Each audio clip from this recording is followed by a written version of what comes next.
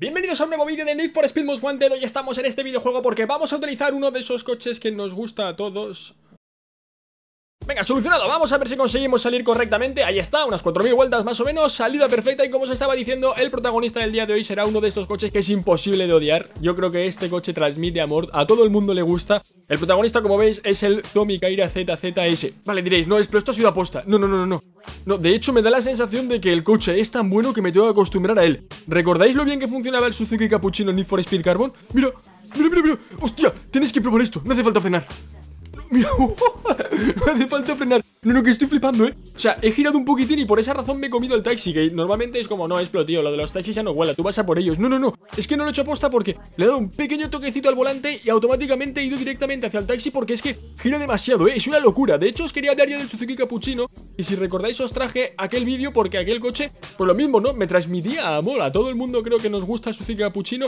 Y son de estos coches que aquí en Europa no han llegado O han llegado muy poquito De hecho, si nosotros conocemos el Tommy Kaira ZZS o el Suzuki Cappuccino es porque lo hemos visto en juegos como Gran Turismo o alguno de estos, ¿no? Aunque bueno, si no me equivoco, el Cappuccino se vendió también en Reino Unido. Pero bueno, dejando esas anécdotas aparte, al final son coches que son muy raros y, como os digo, a mí me flipan y por esa razón quería dedicarle un vídeo tanto a uno como a otro. Este salió originalmente para Need for Speed Carbon, el mod, me refiero, al coche evidentemente no.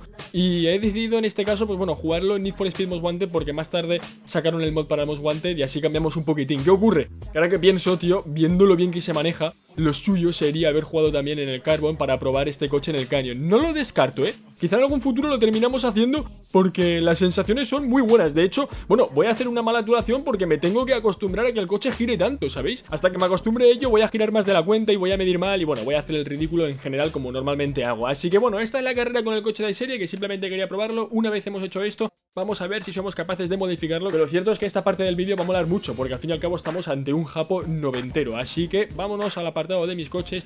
Yo ya lo tengo comprado, como veis Es el coche que acabamos de utilizar, aunque lo hemos utilizado de serie. De serie ya os comento que son 650 kilos Un 2000 de motor de Nissan, por cierto Que casi llega a 200 caballos Relación peso-potencia que no tiene ningún sentido Pero nosotros vamos a modificarlo al máximo con las piezas de chatarrero Y va a tener incluso menos sentido todavía. Además, cómo se va a manejar Bueno, no estoy preparado para esto. Bueno, vamos a ver qué kits tenemos disponible. El primero ya veis que es este que ensancha un poquitín el coche y luego tenemos esta otra opción que incluso cambia el parachoques delantero, faldones y demás cosas. Vamos a ir lo más radical posible, vamos a poner esta opción y nos vamos a ir al apartado de alerones. No sé si tendremos algún alerón exclusivo.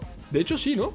Este Lex 42 no me quiere sonar de Need for Speed Most Wanted, o sea que ese seguramente vendrá de cualquier otro videojuego. Lo que pasa es que todos quedan a la perfección, tío. El mod está muy bien hecho porque como veis no es un alerón que sea un pegote, sino que es un alerón que sale justamente de lo que sería el, vértice, por así decirlo, del coche. Y ya veis que se integra muy muy bien. No sé si los tuners también se integrarán guay. Sí, de hecho ya veis que, el Lex 42 es exclusivo para este coche, ¿vale? Por si os mola. Aunque de todas formas, sí que os tengo que decir que yo he visto por aquí uno que me ha gustado, que es Rocker 5. Voy a poner esta opción. Además, como os digo, se ve bastante radical, que al final es lo que estoy buscando en este coche. Me apetece hacer una preparación gordísima. Y en cuanto a llantas, se me está ocurriendo en concreto esta. La vamos a poner a lo mejor en 19 pulgadas, que ya son unos llantones bastante grandes para un coche como este. Y tras esto vamos a pasar al apartado de tomas de aire en el techo. No sé si funcionarán. Ah, pues mira, sí, funcionan todas aparentemente. Aunque de todas formas ya os digo que nosotros no la vamos a poner Pero bueno, ya lo habéis visto por si os interesa Ya veis que no tenemos nada en el apartado de frenos Así que vamos a pasar para terminar a faros delanteros No sé qué cojones tendremos Hostia, em, me hubiese gustado a lo mejor no entrar aquí Ostras, os tengo que confesar que ahora mismo tengo bastante miedo. A ver, entiendo la idea, ¿no? Yo creo que lo que está haciendo esta pieza en cuestión es añadirle un par de ojos para que el coche sea un poquitín más mono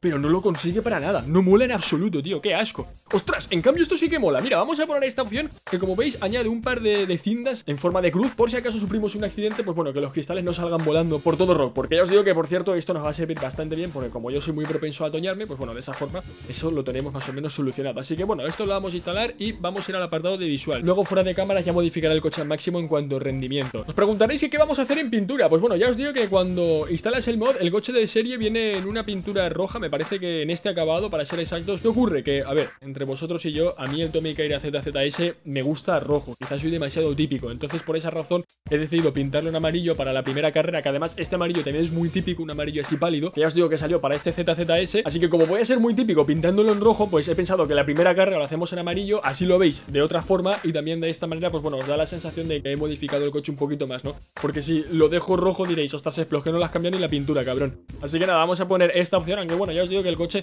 en este color está muy guay también De hecho es que hay varios colores que le sientan muy guay Porque al final La verdad es que no nos engañemos, es un coche muy bonito. Si nos vamos ahora al apartado de vinilos, sí que os tengo que confesar que aquí le he estado dando vueltas y no sé exactamente qué hacer. Porque he pensado en ponerle la bandera de Japón, pero es como...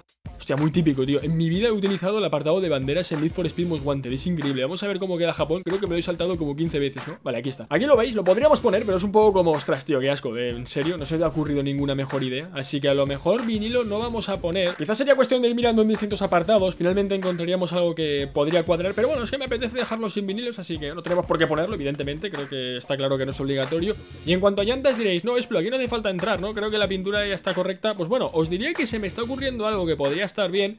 Diréis, no serás capaz, tío. En negro es como quieres molar. Y cuando quieres molar, haces todo lo contrario, no molas, ¿no? Es como muy típico, ¿no? Las llantas en negro. No, no, yo quiero ir un pasito más allá. Cuando os digo un pasito más allá, os digo un dorado, tío. ¿Qué me decís? Dorado y rojo, ¿eh? A simple vista no debería de pegar, pero por alguna razón me gusta, tío. Lo siento, eh, estoy dispuesto a recibir insultos. A mí me mola cómo queda, ¿eh? Creo que le da un toque, ¿no? Ya que no pongo vinilos, pues bueno, un apartado que consiga darle un poquito más de carisma de la que ya tiene de serie, me parece que es ese toquecito con las llantas doradas. En cuanto a luna estintada, lo vamos a dejar en negro oscuro, que creo que es un toque muy muy guay. Y por cierto, pegatinas en las lunas funcionarán, tío. No tengo ni idea, vamos a echarle un vistazo. De hecho, ¿sabéis qué? Que no le vamos a echar un vistazo. No, es pro cabrón, pero míralo, tío, que me da curiosidad. Y es que la luna trasera es muy pequeñita, quiero ver cómo quedan ahí las pegatas. Es que no le hemos hecho un vistazo porque el modder ha pensado en todo y ha dicho no funcionan las pegatinas, así que directamente no pongo ni el apartado. Ya veis que, no existe, por eso no le he hecho un vistazo, no es porque no quiera. Así que bueno, voy a modificar el coche al máximo. En cuanto a pieza de chatarrero también, importante, que luego me decide todo. Pero Esplo, ¿lo modificas también en el chatarrero? Que yo creo que no. Sí, no te preocupes que lo hago. Y una vez esté modificado al máximo, vamos a salir a la calle y vamos a ver de qué es capaz este cacharro que miedo me da. Vamos a ver si funciona si tengo que reiniciar la carrera 15 veces. No, no, no, sí que va. Hostia, tío, es que pero, pero macho, si es una pizza, ¿la habéis, ¿la visto? Está tan ancho Pero qué cojones, no te lo puedes ni tomar en serio, tío Va, me flipa, ¿eh? A ver, ¿esto qué cojones haces? Bueno, ya os digo que me da miedo No consigo salir bien, aunque no pasa nada Porque habéis visto que el funcionamiento es, de hecho, como si hubiera salido bien Y como se estaba diciendo, me da miedo lo que son las curvas Soy yo Las altos, tío, parece un Fórmula 1 del 2022, ¿no?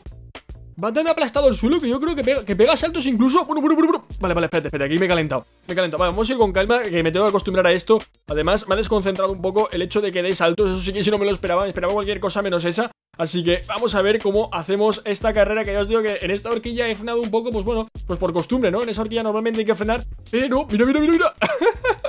Pero ya os digo que, no hace falta. De hecho, es que aquí... No, no hace falta, no hace falta. Lo suyo sería encararlo bien. Como veis me he comido la parte del interior de la curva Pero porque es que el coche gira más de lo que mi mente es capaz de asimilar. Es que no estoy acostumbrado a que funcione tanto. Y ya veis mis rivales dónde están. A ver, estoy haciendo el ridículo De hecho, mirad. Aquí he frenado más de la cuenta Si es que estoy haciendo un desastre Pero no sé qué juega esta peña Porque hay uno al que le saco un kilómetro. Tan rápido hemos ido Yo creo que no, ¿no?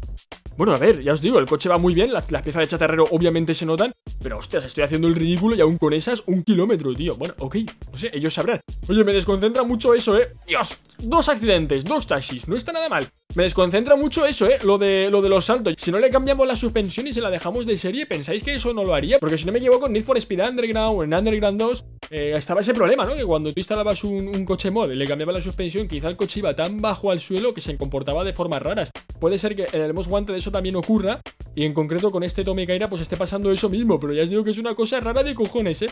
No voy a frenar en estas horquillas, yo creo que no hace falta Venga, a lo mejor sí que hacía falta Por cierto, vamos a ver también a qué velocidad punta llega Porque si mis cálculos no fallan, deberíamos de ser capaces de superar la barrera de los 350 sin ningún tipo de dudas, ¿eh? Lo que pasa es que este trazado en cuestión, pues bueno, tiene muchas curvas Lo he seleccionado a propósito porque, ostras Como sé que el coche se comporta también en curva He dicho, vamos a disfrutarlo al máximo en ese sentido Pero bueno, disfrutarlo al máximo entre comillas, ¿no? Lo suyo es acostumbrarse Una vez te acostumbras a él, es cuando puedes sacarle su verdadero potencial Y ahora mismo bueno, lo que os digo, mi cerebro no es capaz de asimilar que el coche vaya tan bien a la hora de tomar curvas Así que bueno, voy a buscar uno que tenga algo más de rectas Y vamos a ver si somos capaces de superar la barrera de los 350 Qué bien nos ha venido la cinta de los faros delanteros, eh, por cierto. Qué previsor soy, ¿cómo sabía yo que me iba a chocar?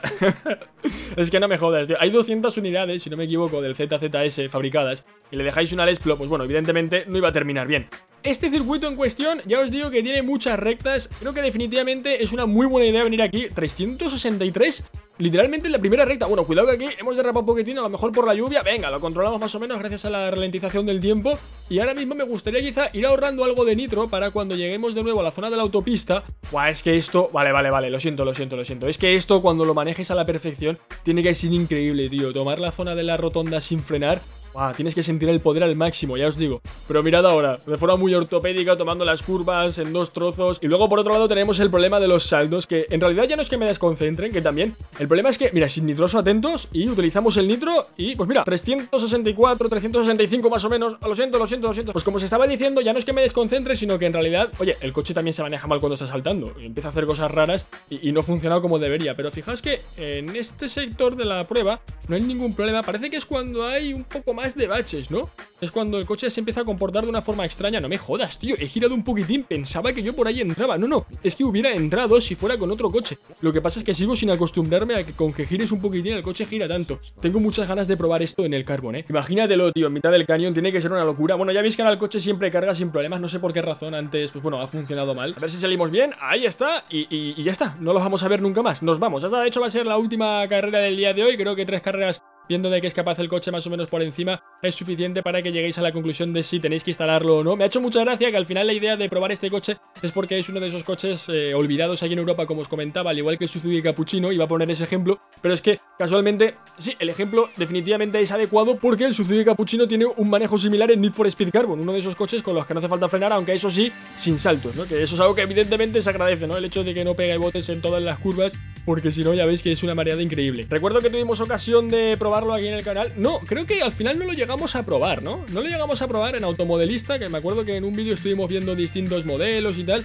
y vi el ZZS y dije, uff, cómo me mola a mí este coche, y finalmente, bueno, chaval, no tuvimos ocasión de darle caña, me quedé con las ganas, pues bueno, ¿quién me iba a decir que en Need for Speed Most Wanted lo íbamos a probar y dentro de poquito tiempo también en Need for Speed Carbon? ¡Qué locura, eh! Es un coche que ya os digo que no me esperaba para nada encontrar en la página de mods, tío. Pero bueno, ya veis que sí que está disponible. Es que la peña definitivamente tiene gustos muy, muy refinados, ¿eh? Sin ninguna duda, tío. Ya veis que es un circuito muy corto de dos vueltas. Yo creo que me das mm, dos vueltas más e incluso llego a doblarles. ¿Te imaginas, tío, que los doblos? Sería impresionante eso. Así que nada, si os ha gustado el vídeo, ya sabéis, podéis dejar un buen memole y nos vemos en próximos gameplays. Cuídense, adiós.